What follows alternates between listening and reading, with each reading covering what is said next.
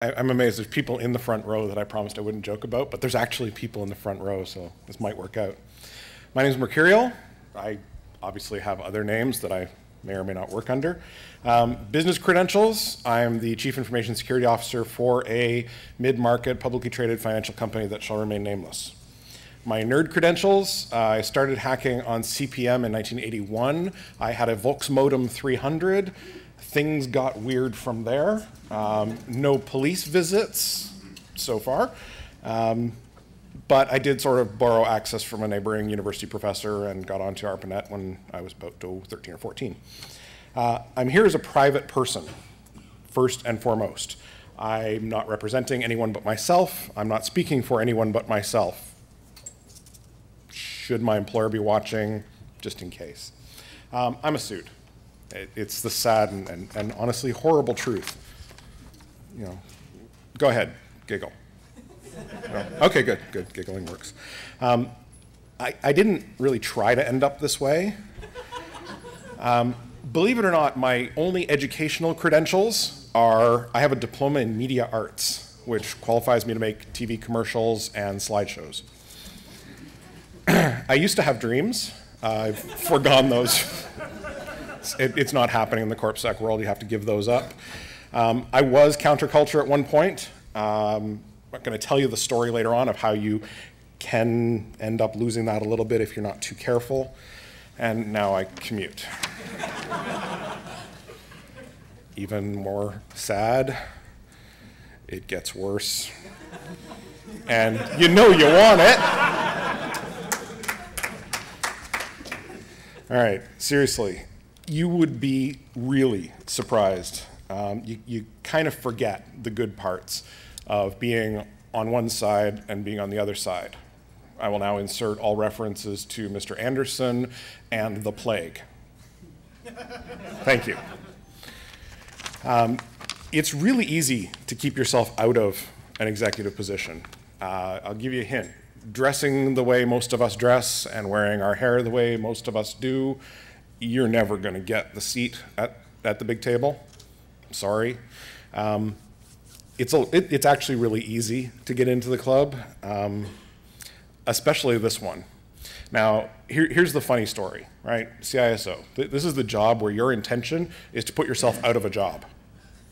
Does everybody know this? in the, in the real world, we shouldn't have information security separate from just information management, but there's no CIOs that are actually doing their job out there in the real world, so we've had to step in and do it. Um, this is a lot about the hacking and a lot about the what you do about the hacking. It's a lot more about how you do the right things with information. What do you want? I mean, really, if, if you're like me, you want leisure time. Um, you want to have a good job you want stable work. Um, there's also some downsides. You really don't want to be on call anymore. Um, do, do you want to be really looking at the downside of where the buck stops, especially after it's on the front page of the newspaper? Um, you know how other people do things that affect your livelihood? do, do you know what happens to CISOs of companies who end up on the front page of the paper? We call them waiters. Yeah. Um, how you answer this is really whether or not you're going to be able to get or keep a job in corporate information security. Do, we need to define corporate information security? That's the person who follows the SANS rules and says no. Nodding and smiling. You guys actually work in real companies, don't you? Cool. Um, it, it's really a lot of fun, I swear. Um, one time, I kid you not, there's actually somebody in the room who knows this is true. I spent a week refreshing Slashdot. Five days, seven and a half hours a day, because my boss managed by butts and seats. I hit F5 on Slashdot for a week. Um, of course, there's other times where I've been told to go home after I've finished working 100 hours, Monday to Friday. So it, it's really between two worlds. Uh, I'd like to point this out as being sort of really key and really important. Um, you're going to be updating documentation. Love that. You can hear the pin drop. you're going to be hunting for lost tapes. Because you know what lost tapes turn into? Front page news, right. Um, you're going to be cleaning up after other people. Uh, most people in most companies are very well intentioned. They're trying to do the right thing for everyone. And they're often completely freaking wrong. And you're going to have to clean up the mess that they leave behind. I'd like to introduce you to Edna. She's had every job in the company, she knows everything. Edna just landed us on the front page of the newspaper because she thought she was being nice when she offered the customer list to a former employee. There you go. Uh, and, and nobody's going to care about you. Um, do you have what it takes? You know, are, are you prepared to go all the way to the top? This, this is one of those job trajectories that's more ballistic than guided. Once you launch on this path, you have to be prepared to actually end up there. You know, when I started doing firewall work back, back in the olden days, in, in, in the 90s, you guys remember the 90s, right? Firewalls were new, shiny, blinky lights. It was great. Um, I, I, did not expect that I was going to end up as CISO of a publicly traded company. That was not actually my intention. I just wanted a nice job where I could sit in a corner and play with blinky lights and shiny things, and they don't let me do that anymore. uh, most importantly, the E word. Everybody knows the E word. Everybody has their own version of the E word. I have a very, very small batch process that runs nightly, takes care of this for me. Um, let's, let's talk about getting the first job. Yes, I'm reading off of two screens and paper at the same time. Uh, this is not the job where you do security stuff for 25% of your time, sysadmin work for 25% of your time, and run cable and fix printers for the other 50% of your time. This is the first job where it's a full-time gig, and it's hard to get that first full-time gig. Because what are you missing? Experience. Right, experience. And you know, I'm sitting there reviewing your resume and it says, well, I, I work in the change management group at the IT department of XYZ company, and I want to be a, an InfoSec guy or girl. We'd love to have more girls, there's, there's, there's no girls. Sorry. Please, girls, it, this is a career arc you can be on. You've got to get your cred together. You know, you got to have the resume. Um, you're probably blogging or Twittering or Web 2.0ing, you're on the face space, right? And, and you've got Google results, or as we heard two talks ago, evil Google, you have Yahoo results, quasi-evil Yahoo, um, but you've also got to have actual skill. Because when you're sitting in that first interview and you get past the HR people, it's all about the keyword management and the not lying Yes, the lying counts. We catch that in the second interview where we check on your skills. Um, in order to get there, you're going to have to pay a lot of dues. You're going to have to work those part security jobs, you know, where you're slowly ratcheting it up from 25 to 26 to 27 percent. Um, you're going to have to put in the time, and a lot of that time is going to show up in the time that you spend outside of work. Um, yeah, and it's going to be boring during your time doing that first sort of job, expect that you will be mo doing mostly things like review and metrics. And review and metrics is really boring stuff, but it's what I need to make decisions. So if you do a crappy job, I make crappy decisions, and we all get fired. It, it counts. And you're going to have to do it the SANS way. Uh, if you're not reading the Internet Storm Center, and you don't have ISC in Bedazzled on the back of your leather jacket last year, uh, but mostly you're surviving, right? You're building, building the resume material. Um, and mostly you're, you're getting involved. Um, getting involved sounds like one of those sort of trite, easy to say things for guy up at the front wearing the darky shirt. Um, get invited to meetings. This is tips and tricks, step one. Uh, get invited to meetings. Um, offer yourself up to go to things like change advisory boards. Learn everything you can about the infrastructure because you probably come from a background where you played with this much of what's really used in the real world. You know, at home, you don't have a whole lot of experience to fiber channel SANs unless you have electricity included with your rent. Um, you're going to want to get on project teams. You're going to want to ask a lot of questions. Uh, you're going to be working your way towards being the generalist. Uh, the sad part of corporate security is that you have to have a fully functional bullshit meter for every person you work with. I have to know as much about Windows security, Unix security, AS400 security, mainframe security, network security, firewall security, fancy new blinky lights device that they just created a market vertical for. Oh, I'm sorry, DLP security. Um, you have to be that generalist because everybody's going to be trying to snow you, and you've got to know this stuff. Uh, and you're going to not end up staying anywhere for very long. Uh, that's also the sad but horrible truth. Um, you got to stay at least a year, though. If you start seeing short periods, I spent seven days working there. That's not good. Um, I got my first paycheck after my first day, which was also my last day, is not good. Um, anything less than a year sticks out on a resume, probably won't get you past the HR filters.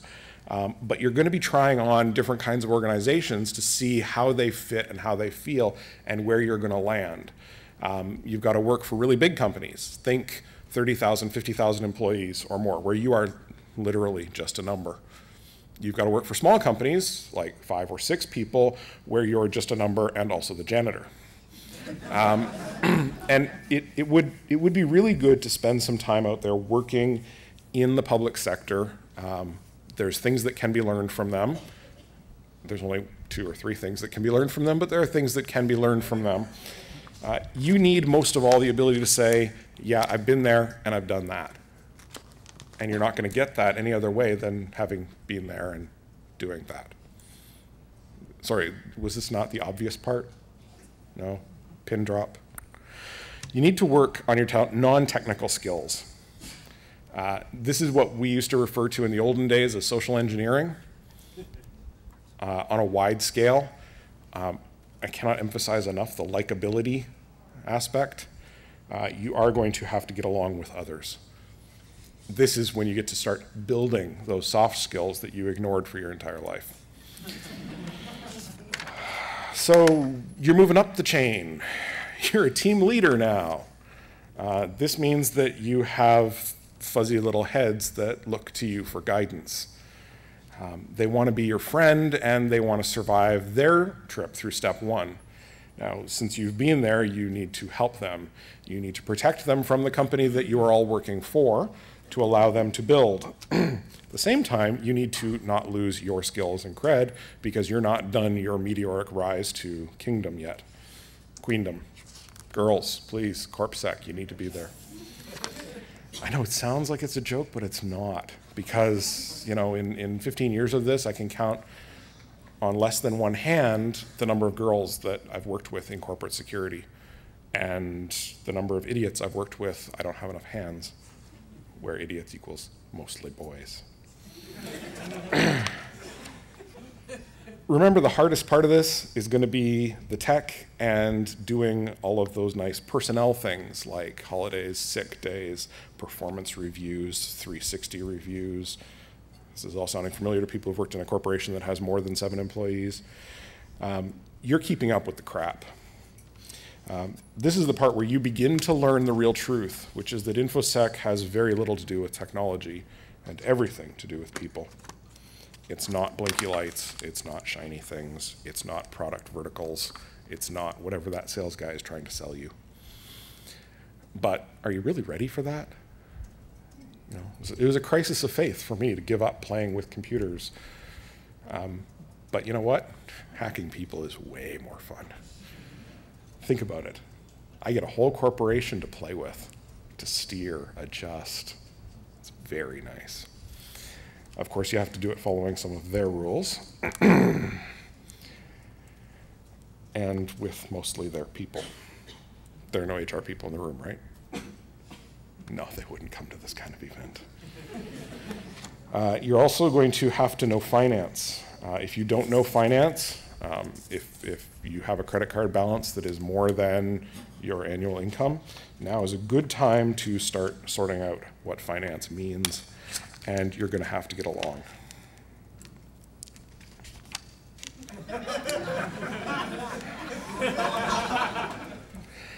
Um, this is the part where you're building that reputation because, you know, in so much as people like Charles Stross and Cory Doctorow like to talk about the reputation economy and how this is the greatest new thing, this is what Web 7.0 is going to look like. The reality is, um, we're already there. Um, people know who you know and what you know, and word spreads. Um, whenever you screw up, you can bet that 25 people are going to know about it before the end of the day. And when you do something really good, uh, you're going to have a hard time finding one person who hears about it. So, to a greater or lesser extent, you're going to have to take care of it on your own. Uh, this is where, in life building seminars, you hear the word networking. Again, with the pin drop. But you're doing good right? You've, you've done the team leader thing for a while. You've, you've maybe even stirred around from a couple of organizations. This stuff is starting to make a whole lot of sense to you. Uh, and now all of a sudden you have to talk to people. Let's talk about perimeter defense. Let's not use any IT language at all. The word firewall becomes a swear word.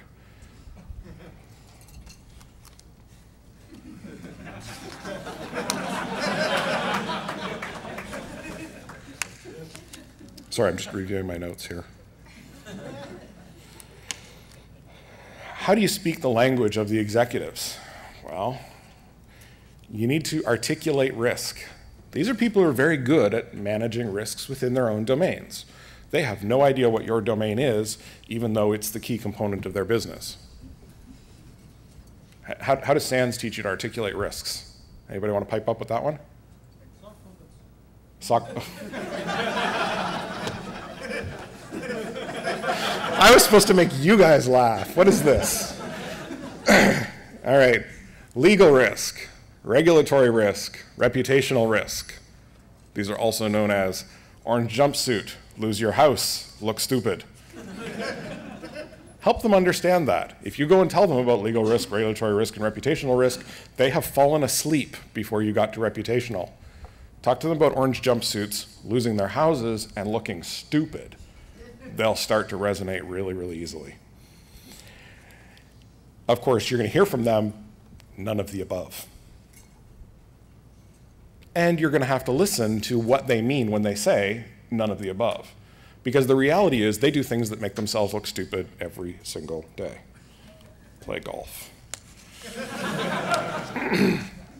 you need to bridge your experience to their experience. So you have valuable experiences from having climbed up from the bottom. They have valuable experiences from having been born with a spoon in their mouth.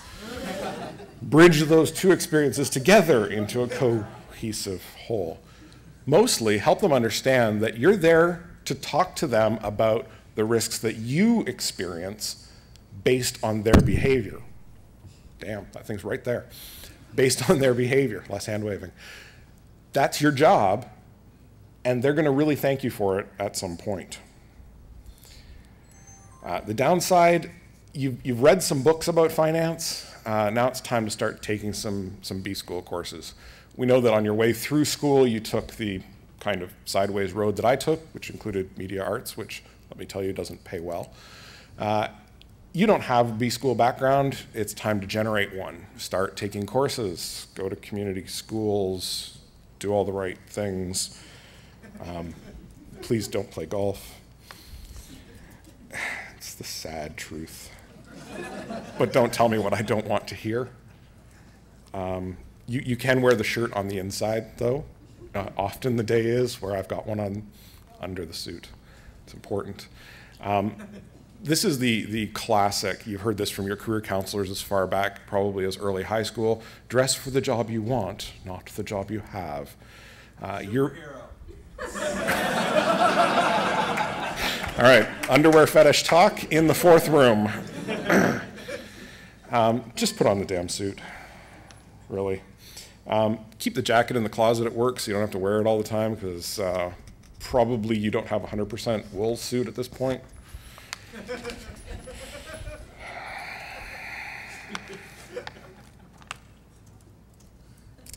it's terrifying, but true. Um, this is another one of those times where, uh, just looking at the demographic of the room, girls could really help out. Uh, they do know how to dress you well. Ask for help. I'm sure you all know a girl or have heard of one. Mom.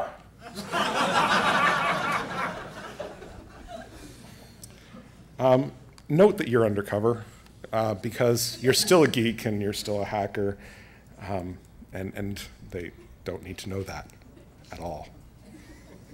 It's a secret.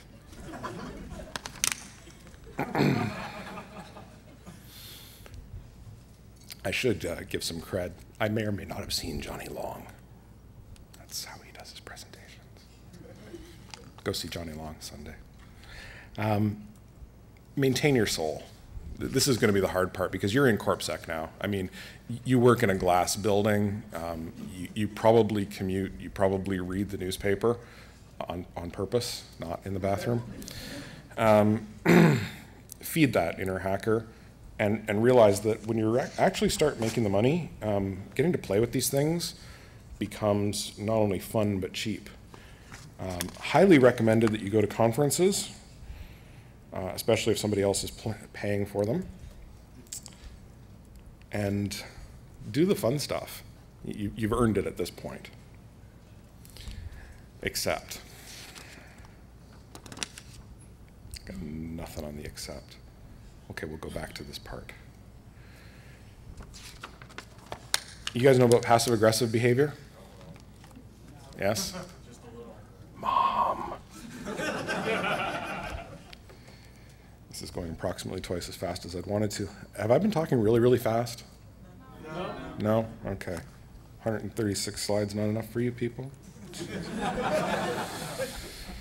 oh, sorry, that was passive aggression just coming out there.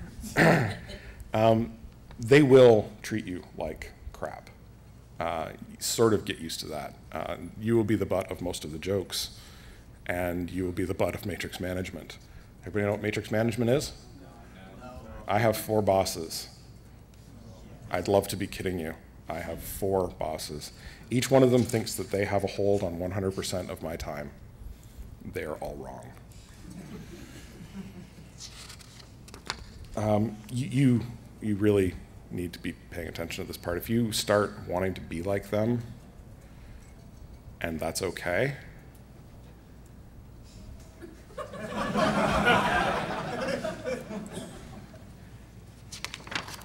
maintain your contacts. Now, this is this is the the hard part, right? This is the once you've been in an organization and you've spent some time working there and you've moved up and moved out and moved onward, you need to remember that you're going to encounter those people again. Um, most of you are from cities, I presume. There's not a whole lot of InfoSec going on in cow country, although there should be. Um, you know how the industries are really small? You know everybody who's doing InfoSec in your city? If you're from the city I am from, you know everybody who's doing InfoSec. It's very incestuous. Um, you're going to keep running into these same people over and over again.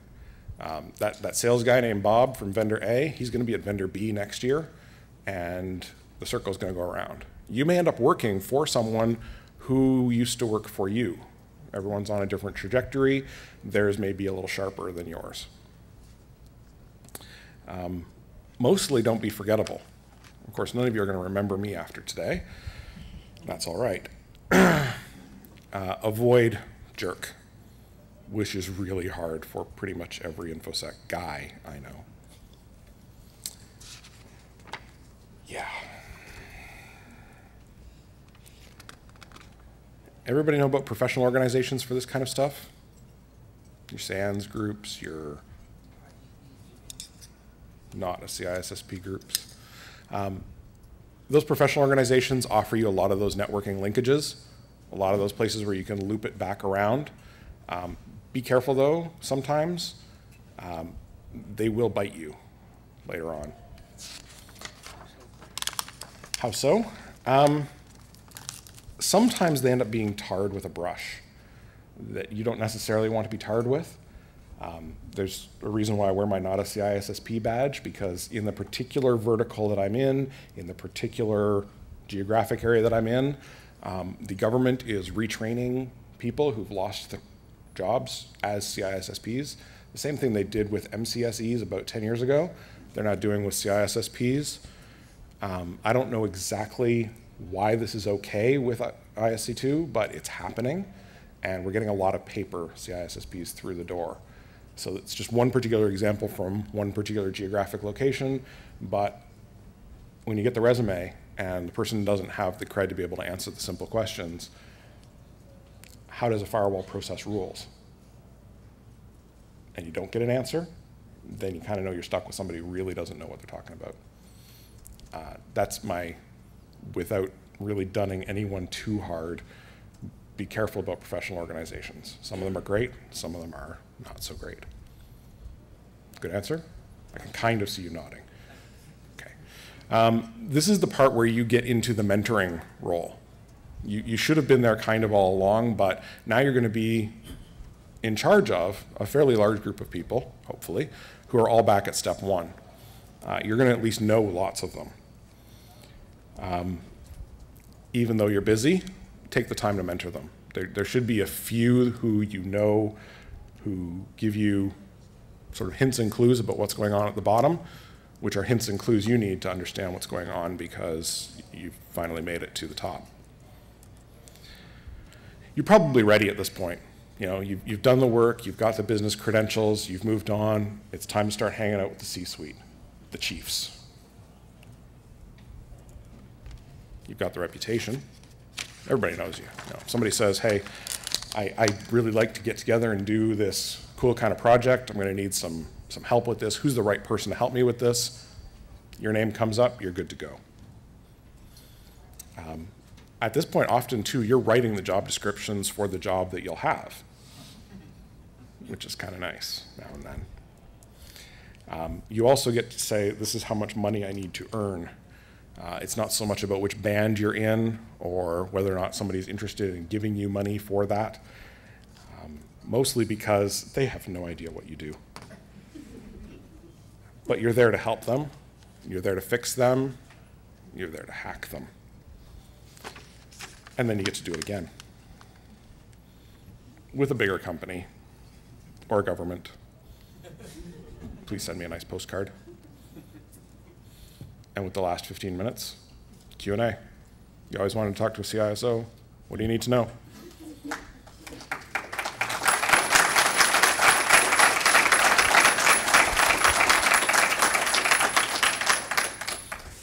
Questions? I saw a hand. Yes. Um, as far as uh, you start getting into the area where we talk about uh, moving, uh, where you're talking about moving up into, say, your first management job. Yes. Uh, do you do you have a as to what particular type of management job are you talking? Is it would anything suffice, or is more like a program manager or a group manager, or some kind of what kind of management specifically would be a good starting point? A good starting point is any starting point, frankly, because you're still at that proving your cred point of view. Um, do you have what it takes to do uh, sorry, I should go back one full step. Most organizations don't have dual track management. Most organizations don't have technical track where you just deal with people on whether or not they're doing their job and a separate human management track. You know, that, that's very 22nd century, and I hope we'll get there someday. Most organizations are integrated. So not only do you have to manage people doing the work that they're supposed to be doing, but you also have to pat their fuzzy little head and make them feel better and deal with benefits and holidays and sick time and and all of that stuff. So you, that first sort of team lead position is probably going to be more technical than anything. It's going to be less line manager, but the first chance you can get to get line manager, so you can say, you know, in a very Lumbergh kind of way, you're going to have seven people under you. That's an org chart reference. It's not something that belongs in a talk in the fourth room. Um, once you get to that point where you're able to say, yes, I've had 10 people working for me, or I had a team of 22. You know, once you're at that kind of point, that's what I'm talking about when I'm saying you're, you're sort of at that first real management job where you're in a position where you're not able to do a lot of the work. You know, think about um, uh, technocentric kind of work versus business focused kind of work. Technocentric kind of work, you're doing as well as managing. Business focus, you're managing, other people are doing. And that's that sort of critical gap where you're losing your cred because you're not touching the equipment anymore, you're not dealing with the policies, you're not actually contributing to the effort, you're orchestrating the effort. You know, the, the orchestra leader never has an instrument. That's sort of where you need to be in order to move up to the next step because uh, in most organizations, myself included, the CISO has no direct reports. Uh, I don't pat the heads of anyone. Uh, I have about 400 people who work in an IT department who are indirect reports. They all have to do what I say, but I'm not responsible for them. Others? Front row. How do you deal with the political garbage that goes on in corporate, trying to get your way in without having to deal with the politics of that? That's the social engineering part. You, you, you have to deal with the politics of it, but you can deal with them on your footing, right? Um, you can set it up in such a way that essentially this is passive aggression played out as hacking, where you're following their rules and doing it their way. And you keep a special piece of paper beside your desk where you write all the things that you're thinking while you're talking on the phone with the nice lady in HR, right? And just create that schizophrenic personality, you know, maintain maintain the schizophrenia that allows you to be the hacker dude at the at the cool conference and also the person who wears a suit and tells people how and how not to manage the information that doesn't really belong to them because it's other people's.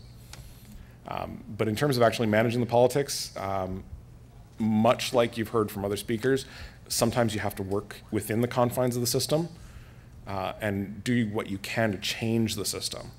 Uh, and to a greater or lesser extent, that's the point where I'm at right now. And, and this is you know more personal challenge than anything. Um, personal challenge. I need to shift the whole organization over to a real risk management kind of mentality in order for it to grow to the next level. You know, we're sort of stuck. There's a glass ceiling there because we're managing the way that we managed when we were half the size we are now. And in order to get past that, we need to do a major organizational shift. And it's entirely outside of my area. You know, I, I have a very confined, this is what you do. Uh, I need to change something over here. And the only way to do that is to influence that change or to cause them to have that idea. Think like the Socratic method. Uh, when you're trying to explain something to somebody and you get it back from them, so it becomes their idea. And it's just, it's playing a game. And at the end of the day, you've got to have a way to purge whatever rage you maintain as part of that game. Um, you know, rage, is, rage can be power, but you have to channel it, control it, um, play racquetball until you wreck your first few rackets. Shit.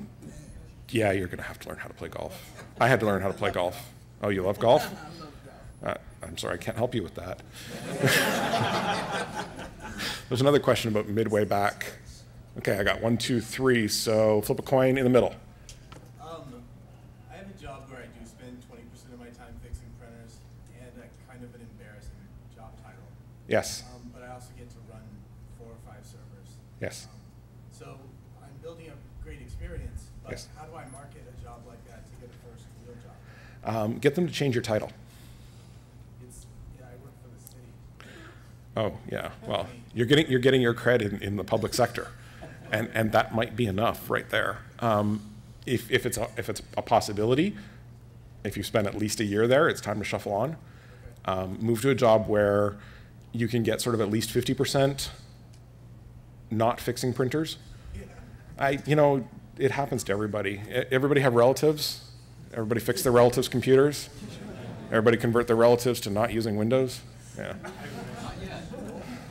It's, it's a struggle, but ongoing.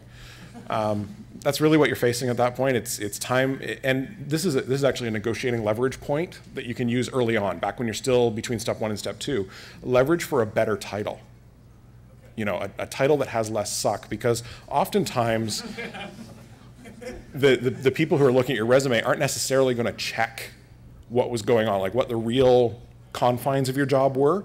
But if your title sounds about right, then you're in about the right kind of place. Like if you can get a title that says something like manager IT infrastructure, there's just one person who has no direct reports, but you know, if you can get that title and that, that'll fly within the confines of, of the organization that you're with, that's a reasonable way to get to the end. That'll help. All right, we'll go this way. Yeah. How does a person generally get over the catch 22 of experience? Legitimately. Legitimately? on my own, do, do, you volunteer? You should. Okay. Uh, there's a couple different ways that you can play that out.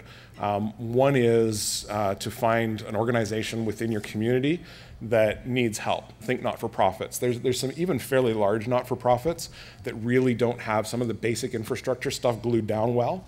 Um, that's yeah, exactly. Food bank is a great option where where you're you're almost even into the manufacturing kind of vertical at that point. I know it sounds silly to call a food bank manufacturing, but I mean, it's warehouse and distribution, right?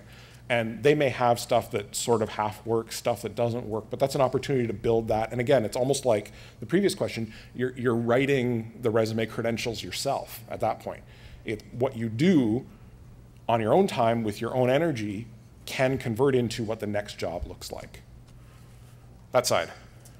Yeah, one of the biggest problems I've seen with people converting into management is the biggest pitfall we've had is, uh, as technologists, allowing teammates to fail. Yeah. By not allowing them to, de- you know, delegate properly and let them actually fail and screw things up. Yes. What are other large pitfalls you're seeing people trying to convert from one side to the other? Um, in large part, it's because um, technology people have a predilection for blinky lights and shiny things. And you need to find a way to solve your personal predilection with blinky lights and shiny things while doing other things like audit and accounting. And I know that sounds awful, but audit and accounting counts for a lot more. You know, that, that kind of mindset that says, you know, I can find the hinky thing that's got less to do with shiny and blinky. Um, I solved the shiny and blinky thing by spending money on toys. I have an E and it's all hacky and I've been soldering and stuff. And that takes care of that part of my mindset so that I can deal with the, I have to review access permissions for a file server. It's the HR file server, so there's really not, not really anybody else who can do it within the organization. I've got to review it to make sure it's clean, and that's going to take me a day, and it's going to suck. And I can't delegate it. I'd love to, but I can't. Um, in, in terms of how you manage that delegation thing, you've got to be prepared to let go. You know, it's, it's, it's almost a, a Christianist kind of phrase. Um, let go and just let it happen. And that's really, really hard for technology people, especially uh, control freak, monkey type sysadmins who really cannot let go of that root password. Uh, at this point, I don't have root password on anything at work. I have root password on my box at home, and that's it. Uh, and that's really the way that it should be. Uh, you know, oftentimes vendors will laugh when they'll say, "Well, just install this thing on your computer." I'm like, I can't. I'm a normal user at work. You know, I can't install software on my computer. I have to call the help desk for that. Um, getting to the point where you can let go of that kind of power trip is really hard. And you're right, that's a real place where failure occurs. Absolutely. Behind you. How do you recommend um, circumventing the HR gatekeeper? How do I recommend circumventing the HR gatekeepers? Uh, there's two ways to answer that question. One way will generally land you um, at the behest of the Queen or country, depending on which country you're in. Uh, that's not a good way to get around them. The other way, sorry, first thing that comes to mind when dealing with HR. Uh, the, the, the real way to get around and not circumvent so much as sidestep the HR issues uh, is literally to work within the confines of their rules, right? This, this is yet another hack.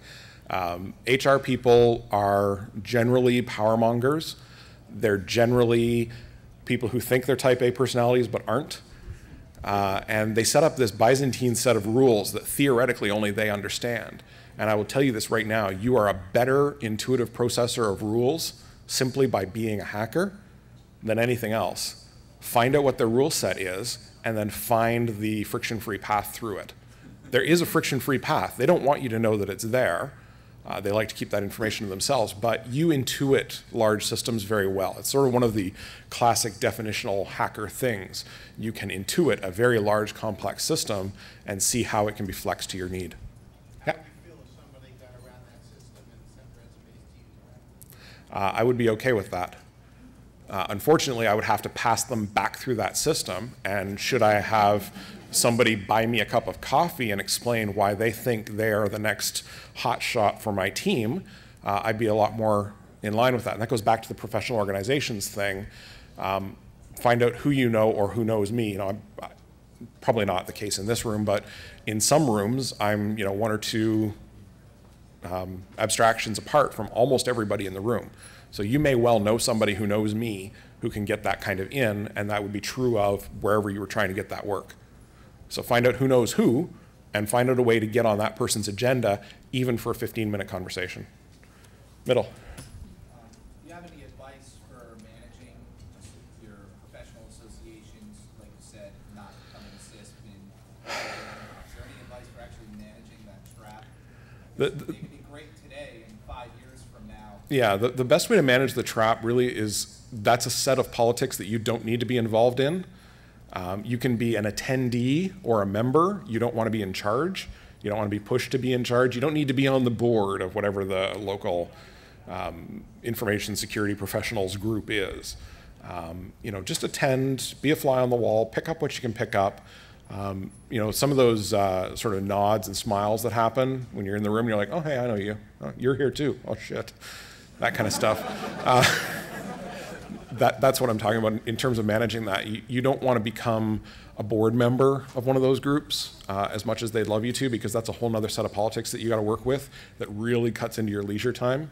Uh, spend your leisure time on whatever it is that, that turns your crank. I mean, I, I coach t-ball, so you know, yeah, I know, totally non-athletic geek type coaching t-ball, lots of fun. Um, spend your time wisely in other ways. How am I doing on time? Lots of time. Questions? Yeah, I got one in front and then one behind. Yeah. In, in the corporate world, how do you get over the negative connotations of being hacker related? Oh, this is a good one. In the corporate world, how do you get beyond the negative connotations of being hacker related? Shh, don't tell them. Um, like, well, yeah, they might find out. Uh, uh, really, what, what you've got to do is, is present that there's, there's a possibility to learn from these sorts of events. Um, and this, for me, represents serious and significant professional accreditation. And I'll give you an example because it'll help you to wrap your head around it. Like I said, I work in an FI, financial institution in FI nerd speak. Um, they were talking about doing a rollout of contactless credit cards. And I said, okay, well, we need to look seriously about what the controls we're going to have around these risks are. And they're like, well, what are you talking about? And I said, okay, which contactless credit card? And they named one of the companies and one of the specific technologies. And I'm like, okay, that's great. Um, that's got about seven different ways that it's already been broken. And they said, what? And of course, the vendor had never told the, you know, the upright business types, oh, by the way, three or four years ago at the other conference, um, we showed them hacking this from 75 feet away. You know, they're like, well, it can only be read within four inches of the reader. Well, no, it can only be activated within four inches of the reader, but it can be read from anything that can hear a radio signal from any distance up to, uh, how far away is Voyager now? You know, it's, this, this is real credential building time, right? Because if you're, if you're one of those very staid, uh, I hate to say it, CISSP SANS types, if, if GIAC is one of your favorite words, um, you're never going to be in a position to really know and understand that. And then going back about nine threads in the conversation, you're talking about ways to gather that credential experience. Um, great example, the, the province that I live in, oops, gateway of the country, uh, is currently rolling out a contactless fare system for uh, mass transit. Uh, they're rolling it out based on the MIFARE card. I had a conversation with the guy, and he's like, well, it's perfectly secure and gives me all this great, obviously, vendor spiel. I said, have you had a red team look at it? Are you aware of the information that's going to be released in the fall? Was leaked last week. Um, he said, no, I, I hadn't heard that before, actually. And so that's a, an opening for a conversation where, I, yeah, it's easier because I've already got a business card that looks really nice, but that's the opening for a work with your community, help your community, show them that hacker is often a misused term by the media. Hacker really means the same thing that DIY meant in 1954 in popular mechanics, right? And that's just the world that we're at again. We're the makers, we're the remakers, we're violating warranties and, and doing crazy things like convincing people to do things that are kind of funny. You know, classic hack, misdirect the output from church to the donut store. You ever done that? So get some of those orange cones, wear a safety vest, use one of the flashlights, people will go where you tell them. It's a hilarious hack. Uh, the actual cred for that is to my wife, who did that after a football game in high school, and it's the best story and how it was proof that I married the right person. Uh, there was a question behind you. Um, to what extent do you think people are naturally suited to management or not, and they might be better, is there some things that someone's not naturally suited for, they might be happier just in a more technical job? Okay, let me summarize that question a little more briefly. To what extent are people suited for management or not suited for management? Um, much like the rules around who gets to be president, um, if you want to be president, you should be automatically disqualified from the job. If you want to be management, you should be automatically disqualified from being management uh, because nobody wants that. And if they do, there's something horribly, terribly wrong with them. uh, I don't like managing. Like I said, I've, I've got you know a few hundred indirect reports who I have to convince to do what I want without ever actually saying, do what I say. Because that only works with very, very small children. Um, if you don't want to be in management, you're probably in the right place to do a really good job of it. Um, do you know about this thing called the imposter syndrome? The, this is a good one. The imposter syndrome is very important. If you think that you are so totally over your head and they're going to catch you any day now because you do not know what you're doing, you're just playing at this, you're absolutely wrong. Um, I spent the last 45 minutes before I got up here absolutely freaking out that I wouldn't get a single laugh, that it would be pin drop after pin drop. And I got four pin drops, which is a lot less than I counted on. So I did well, right? That's imposter syndrome. I, I was convinced that I would suck. And instead of being okay with that, I live not okay with that, constantly balancing myself against that imposter syndrome. You're going to encounter people out there who know that they are the cat's ass right? They are the hottest thing going. They are the best manager in the world. They've got the perfect desk with the perfect wife and the perfect kids and the perfect flower vase. And, and you know what? They're really not. They're the ones who are faking. And as soon as you push them a little hard, they break down completely. Um, hackers, being the kind of people they are, tend to be able to take a lot more push than normal people can take. Um, you're sort of, you're the 10% that actually does things in this world, as opposed to the 80 some percent that don't. I did not do well in math. really didn't do well in math. Back there.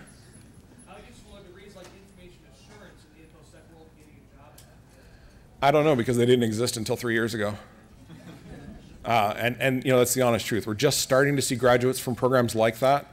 Um, what I can tell you about the corporate InfoSec world is that everyone who I know who's doing well does not have a computer or IT related degree in their past. They are business degrees, they are accountants, they are auditors, they are liberal arts majors, they are geography majors, um, they're his history majors and poli sci majors do really, really well in InfoSec. Um, they're almost anything but comp sci. And I haven't seen real tangible results of those first um, programs other than the email that keeps showing up in my inbox telling me that I need to go. yeah, up front. So given your educational background, how important do you think it is to, you know, is the education really one of the important things or is the experience that you're pushing more important? Um, I think the most important thing would be to go and get yourself a universal education. Um, up in Canada, we call them universities rather than colleges it's to get a universal education. You have to be able to learn. Uh, most people come out of school, especially multiple years of post-secondary, completely unable to learn on their own. They have to be taught. Um, in large part, I'm entirely self-taught. Um, I, I, do have several university level courses behind me that deal with business stuff and economics and things that are really kind of hard to cogitate on alone. Um, I don't think the education is so much important as your ability to learn and learn quickly. Um, the, the classic statement is, and you know, I tell myself this often, I don't know that, I don't know that particular solution today, talk to me tomorrow. Because between now and tomorrow, I can learn it. Yeah? Shit. I was hoping nobody would notice. Um, I, yeah, exactly. I spend an awful lot of time reviewing other people's work. I spend a lot of time in meetings. Um, I'm about 60% meetings. Uh, when I say other people's work, I should say project teams, um, decisions that are being made by people where they're saying, you know, we need to make this risk-based decision that says, we're going to do this terribly risky thing, but we think we've covered it off with enough control so it's okay. Um, I spend a lot of time managing uh, internal and external audits, uh, helping them understand. I write policy. I, so it's not, not infrastructure security or like technical? I haven't done that in years. Um, most CISOs don't. I, sh I should say most people who are actually doing the job of CISOs don't. There's a technical level job in there that's called something like Director of IT Security or Vice President responsible for IT security, and that's the person who manages technical preventative controls. But I'll tell you, in my experience, technical preventative controls generally don't work. They're incredibly brittle. Um, they break the next time somebody comes out with a new market vertical for you. Um, they're just they, they do not play well in the real world.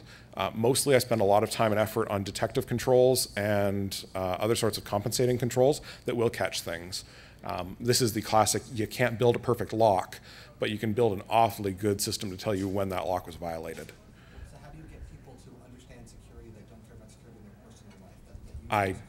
I do not use the word security at all. In my day-to-day life, I do not use the word security at all. I talk about information management, and the way that I help them is by giving them tangible things that they can take home and use. Um, show them the things that are wrong. You know, the, the classic, you keep your RSA key fob with your laptop.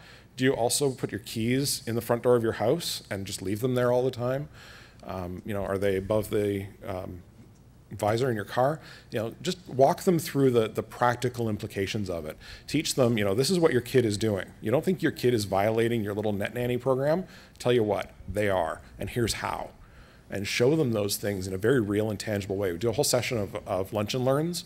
There's lunch and learns for people that have teenagers, lunch and learns for preteens, where we teach them everything they need to know about social networking and web 2. Point whatever and help them through that. Say, this is what Facebook is all about. This is what MySpace is all about. Um, the kids today have no expectation of privacy. This is what their version of private means, and walk them through all that stuff. Um, but it's that kind of education that works much, much better than saying no and don't. Because no and don't doesn't resonate with anyone. Most people have only got 10 slots in their head for don't and no, and of those 10 slots, they violated almost all but one of them there's, have special places for people who violate that 10th one. It just, it does not play out well. So you give them tools that are very tangible, very visceral. Um, use biological terminology. Somebody wants to put their information in your repository. Are you okay with that? Have you considered protecting that transaction? Question over there. I've had the opportunity, being self-employed, to get myself into situations where I've um, done some tremendous security work. Yes. Very large organizations, um, and I've attempted to put them into resumes. Yes. I never seem to find the right way to do it. You- I don't you- want to do a two-page report. Yeah, you can't because often you can't quote that you worked for whoever it was. I mean, one of my greatest coups was that I helped a major international telecommunications company through a significant breach of their internal systems. There was a loss, a tangible real loss, not a lawyer made up loss, but a tangible real loss of over $14 million. There's three people in jail and will be in jail for another 15 years as a result.